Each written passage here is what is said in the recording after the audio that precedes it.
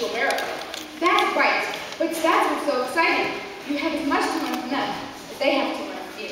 That's one of the great things about growing up in the United States.